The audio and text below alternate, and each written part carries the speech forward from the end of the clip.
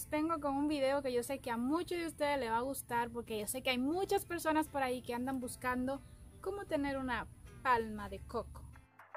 Hola queridos ositos, Bien, bienvenidos sean ustedes al canal, al canal de Osita de Gon.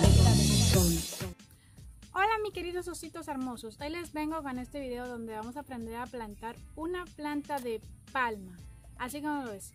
Hoy vamos a hacer una germinación de una no sé si decirle semilla de coco o un coco, así como lo oyes. Lo primero que vamos a hacer es comprar un coco, por ejemplo, que esté en buen estado. Este estaba un poquito más verde, pero lo dejé secar un poquito, así, lo puse en un lugar oscuro y lo dejé mm, como por unas semanas ahí. Y es un lugar oscuro donde no le dé mucha luz.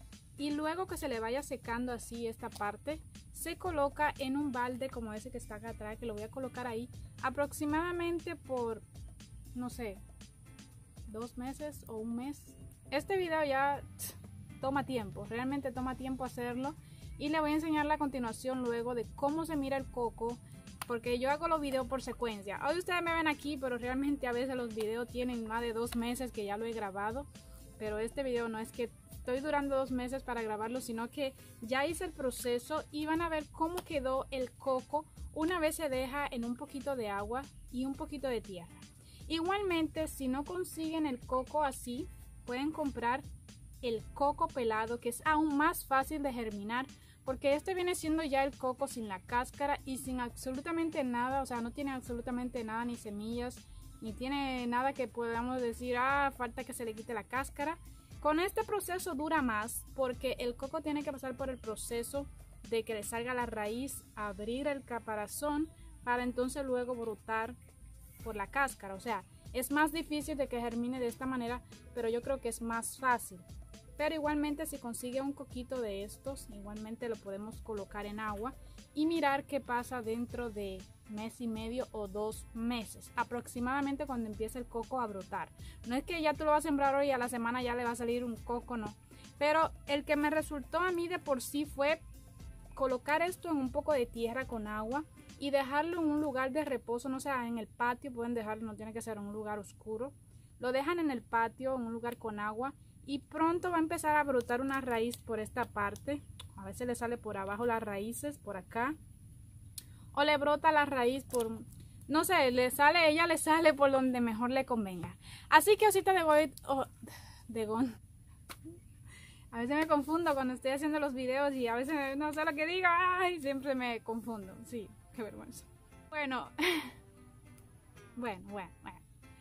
A veces eso pasa cuando estamos en vivo. A veces pasa una mosca, un pajarito canta y sale un, no sé, un zorrillo, un conejo. Pero hoy vamos a hacer lo del coco porque, ¿por qué vamos a hacer este video? Vamos a hacer este video porque hay muchas personas a veces que buscan la manera de cómo tener una palmera y se le hace difícil así de conseguir la planta, pero esta vez no necesitamos la planta para tener coco, sino que vamos a, comprar un coco. En todos los supermercados, bueno, en lo que yo he ido hasta ahora, sean de gringo, italiano, francés y americano, venden cocos. A veces lo venden así y muchas veces lo venden así. Si vives en un lugar en Europa, en Francia, en Italia, España, Estados Unidos, eh, Centroamérica, en algún supermercado van a tener cocos, ya sea así o así. O sea, si lo consigues de alguna de estas dos maneras, puedes plantarlo e intentar que el coco germine para luego entonces cuando tenga la plantita plantarlo a la tierra y dependiendo de cómo lo plantes así va a quedar la planta por ejemplo en el caso de mi coco pasado yo digo coco pasado porque ya lo planté y está creciendo y estoy orgullosa de mi plantica de coco si la plantita nace torcida, por ejemplo, para acá y nace tumbada así, y lo siembras con la, parte así, así mismo va a ir creciendo la planta. La planta se va a ir tumbando la palmera y va a quedar torcida. Pero si está torcida hacia ese extremo, siémbralo de esta manera. Así la planta va a crecer derecha y no se va a torcer tanto. Pero si lo creces cuando la planta está así, o sea, que quede como tumbada hacia el suelo. Cuando vaya creciendo así mismo va a ser una planta caída hacia el suelo, no va a ser una planta alta. Yo te voy a enseñar cómo lo hice. Al principio la planté mal, quedó torcida y pues dije, mmm, va a quedar torcida. Así que la desenterré, volví la enterré y el único cuidado que necesita esta planta es agregarle agua. Si quieres no sé, con el tiempo le puedes agregar un poquito de abono o abono, abono orgánico o algún fertilizante, aunque yo creo que no lo necesita porque las plantas de coco son, como quien dice, tropicales, naturales. Ellas solitas son espontáneas, obvio. Si vives en un lugar de invierno y quieres tener una planta de coco, a menos que la quieras tener en una maceta gigante en la sala de tu casa, lo puedes hacer igualmente, no es que no. Las plantas es como la tierra. La tierra te da lo que tú le... Es como... Hay un dicho que dice, lo estoy diciendo mal. La tierra te da lo que tú quieres. Si tú necesitas planta de tomate, la tierra te va a dar tomates, pero dependiendo del esfuerzo, del empeño que tú le pongas a esta planta, así mismo te va a crecer. Si tu coco no germina, tal vez, no sé, esté enfermo o tal vez estaba seco, porque una cosa es, oigan, este coco está lleno de agua. Y yo espero que lo compren así porque si tiene agua, la pulpa de adentro se convierte en una, como en una bolita, como una semilla que se va alimentando de la misma agua. Y entonces de ahí empieza a brotar una, una raicita. Y esa raíz cuando toca tierra ya sabe que puede sobrevivir y sale la planta. Ok, mis queridos ositos, lo primero que vamos a hacer es ir al supermercado. Así como ves, aquí he comprado unos cuantos cocos secos. Solamente compré uno, realmente compré uno porque como ya tenía yo una semilla de coco, bueno, no es una semilla, un coco germinado, le estoy dando la idea a ustedes que no solamente se germina el coco utilizando el coco también con la cáscara, también puedes utilizar el coco pelado, es aún mucho más fácil, bueno, para la gente que no tiene experiencia pelándolo, yo no, no tiene que pelarlo ni nada. Ya cuando le sale la raíz solamente tiene que ponerlo en el suelo y ella solita empieza a agarrarse de la tierra. Como ves aquí el coco lo he dejado aproximadamente dos meses en esta cubetita. Le he agregado un poquito de tierra en el fondo, no mucha, un poquito. Este eh, contenedor no tiene agujeritos abajo, o sea que agarra un poquito de líquido y así se quedó aproximadamente dos meses. El agua que le caía a este coco era agua de lluvia. Siempre yo le he dicho que para germinar cualquier semilla o cualquier cosa, el agua de lluvia es perfecta porque esta agua no está procesada, no tiene cloro ni químicos que afecte a la raíz y por ende puede crecer más rápido. Así como ves ahí tenía tres cocos, había uno que no tenía agua, por ende se notaba seco y cuando lo movías no tenía nada de agua.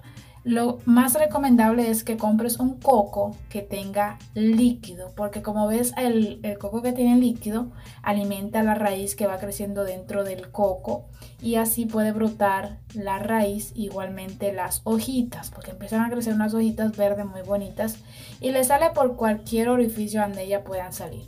Mayormente le sale por la cabecita como le mostré y por debajo, así como vieron el video, le salen las raíces. Ahora lo que voy a hacer es plantarla. Muchas preguntas que hacen sobre a veces cuando germinamos o vamos a plantar, me preguntan si he hecho algún em, abono, fertilizante, si le he hecho algo a la tierra. Realmente lo único que hago es mover la tierra que está en el suelo. Muchas veces la tierra no tiene nada de nutrientes y lo que hago es que preparo una composta, que por ahí tengo un video de cómo preparar composta o abono orgánico utilizando cosas orgánicas. Como ven acá la raíz la vamos a colocar en el suelo. Ven lo que le dije, por ejemplo si yo quiero que mi planta de coco esté tumbada, la raíz la pongo que, que quede como así, o sea de esta manera.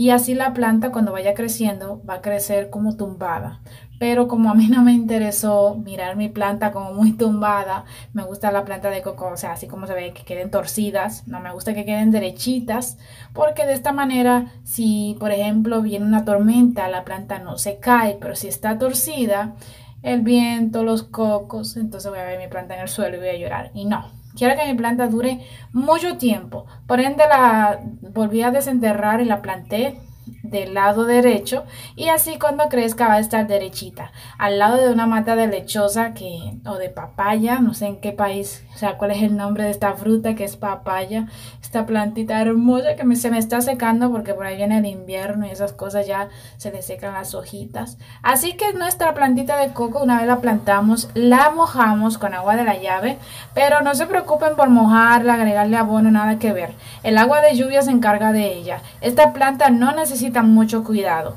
Así que con el tiempo le voy a enseñar mis coquitos, o sea, voy a No que digo que no, pero voy a pensar que ya mi planta me va a dar coco muy pronto. Siempre que plantes una planta, siempre piensa positivo. Mi planta va a crecer, mi planta me va a dar coco y cuando vienes a ver ya está comiendo bebiendo agua de coco. Espero que te haya gustado el video. Si tienes alguna pregunta, déjala en la barra de comentarios que Cita de Gon siempre responde.